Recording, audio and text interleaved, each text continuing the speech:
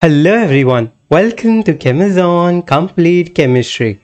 In today's video, we are going to see a name reaction or we can say a rearrangement called as McLafferty rearrangement. So this is a mechanism of the McLafferty rearrangement that we will see in detail. And in which compounds can we see McLafferty rearrangements? In the radical cation or molecular ion that is formed from ketones, aldehydes and cyanides. For all these three compounds, we will see how a McLafferty rearrangement take place. So first, let us understand what is what exactly is McLafferty rearrangement. So we are going to see McLafferty rearrangement in these three compounds. One is ketones. Ketones is this functional group. Aldehyde is CHO and cyanide is CN. Okay, so what are the key points or important points of McLafferty rearrangement? First is abstraction of which proton is abstracted? Gamma hydrogen. Gamma hydrogen or we can say gamma proton. This is which symbol? This is called as gamma. Okay, now what is gamma hydrogen? We will see. So this is the functional group that is the carbonyl group and the carbon next to the carbonyl group is alpha the carbon next to alpha is beta and the carbon next to beta is gamma. So it is like this. This is a carbonyl group. Next carbon is alpha. Next to alpha is beta. Then next to alpha is gamma. And then next to gamma is delta. Alpha beta gamma delta and so on. Okay so what we are interested in we are interested in abstraction of the gamma hydrogen now who will abstract gamma hydrogen? The carbonyl group. Okay, and why this gamma hydrogen is abstracted that we have to see. Okay, this this pi bond is going to abstract the gamma hydrogen. So why it is abstracting? Because there is a formation of a second important point is there is a formation of a six membered cyclic transition state. Formation of a stable six-membered cyclic transition state. Six-membered cyclic transition state. Okay, why it is a six-membered? Let us see. One, two, three, four, five, and hydrogen 6. So in this way, this is a six-membered cyclic transition state that is formed. So that is why it is a stable transition state. That is why the gamma hydrogen is abstracted. What is gamma hydrogen? This was alpha, this is beta, this is gamma carbon. Hydrogen attached to gamma carbons are gamma hydrogen. Here there are three hydrogens. Any one of the hydrogen can be removed. So now there are two mechanisms. We will see the mechanism now. Now there are two mechanisms of McLafferty rearrangement.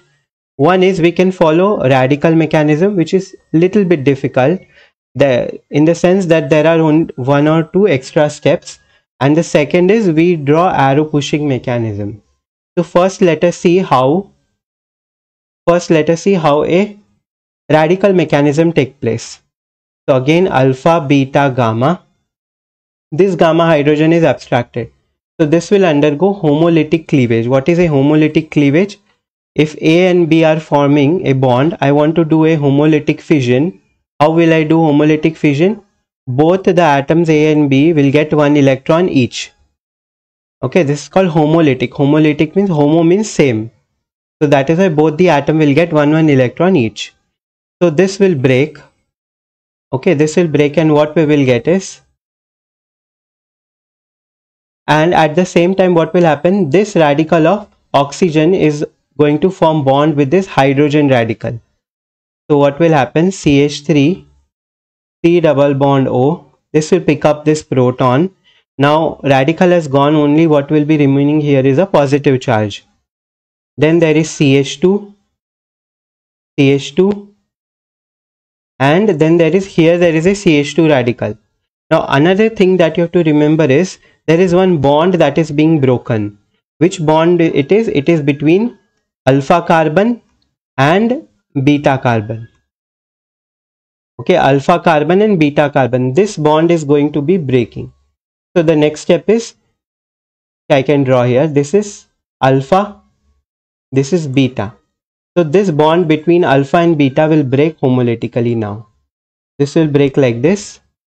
So what do we get? We get CH3, C double bond O, H, positive charge and here CH2 will have one radical. Sorry, here there is a positive charge on oxygen. So CH2 radical plus here what will happen? CH2 already there was one radical this this radical single bond CH2 it got another radical so what will happen both these radical will combine and form a double bond and which compound is released it is ethene ethene molecule is removed this is what this is the uncharged fragment. I, as we had discussed in the earlier video of alpha cleavage i had told in both the rearrangements there is one uncharged fragment. This is not detected. And the other fragment this is a charged fragment that is going to be detected. So they can ask the m by z value of this. Okay in in the next video we will see in many previous year questions nat type questions or numerical answer type questions you will see that they have asked you to draw the fragment and then they, they had asked you to find out the m by z value of the charged fragment. Okay so this is not completed here. What is the next step? Next step is oxygen carbon this bond will break. And what will happen? Oxygen will get its radical back. And here there is this radical this radical and this radical will form a double bond. This is the final fragment okay this was a radical mechanism. Now suppose i want to do arrow pushing mechanism. How will i draw the arrow pushing mechanism? Again i'm taking the same compound. This was which compound? This is 2 pentanone. Okay this is what? This is 2 pentanone. Okay ch2 ch2 ch3 ch3 i'm writing ch2h now here again this is having one positive charge and radical. And now we are doing arrow pushing mechanism. So we will directly abstract the gamma hydrogen. So alpha beta gamma. Double bond will abstract this hydrogen. A bond is formed between oxygen and hydrogen but the pi electrons of carbonyl carbon are attacking the hydrogen. And this electrons of CH bond comes here. And as I had told you bond between alpha and beta carbon is broken. Okay so in this way we can draw the product very fast using the arrow pushing mechanism. Radical plus charge double bond CH2 plus there is ethene molecule that is released. Okay so if you see this product and the product that we had drawn earlier this both are same okay both are exactly the same. If i want to find out the m by z value of this fragment what it will be?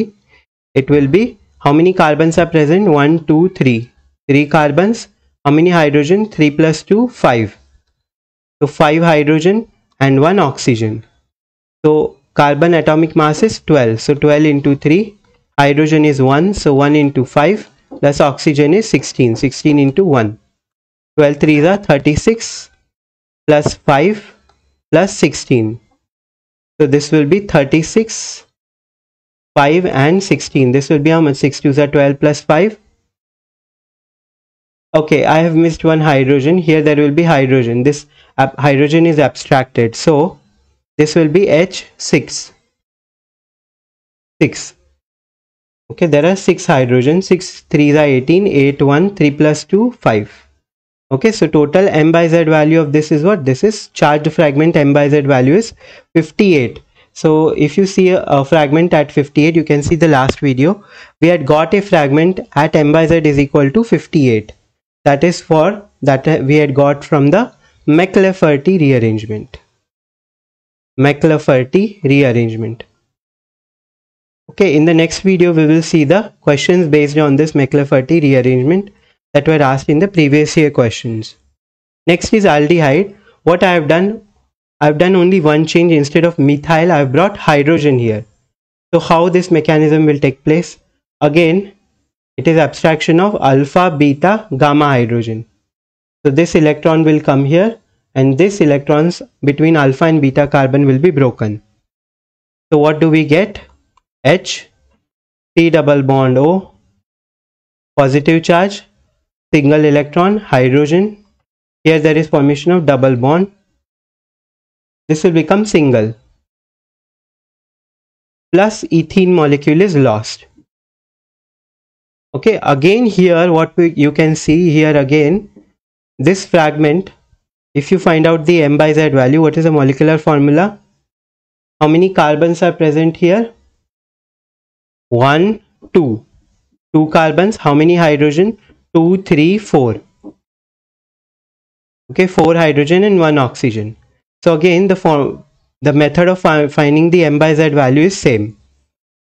So 2 into carbon atomic mass is 12 plus 4 into 1 plus oxygen 1 into atomic mass is 16. So 12 2s are 24 plus 4 1s are 4 plus 16. So 16 plus 4 20 20 plus 24 is 44. So at m by z is equal to 44, we will get a fragment for this aldehyde. This is which aldehyde? If I want to write down the name of this, 1, 2, 3, 4. 4 carbons. So this is butanal. Butane and Al means aldehyde. So butanal.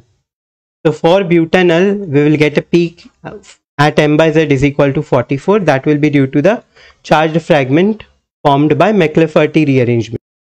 So now the last is cyanides. In cyanides also again what will happen we have to abstract the gamma hydrogen. So this triple bond will abstract a proton and this will form ethene double bond and bond between alpha and beta carbon are broken. And what is the product that is formed? C double bond N. Here there is hydrogen radical positive charge and here this will form a double bond like this. So CH2 plus ethene molecule is lost as a is lost. This is the uncharged fragment.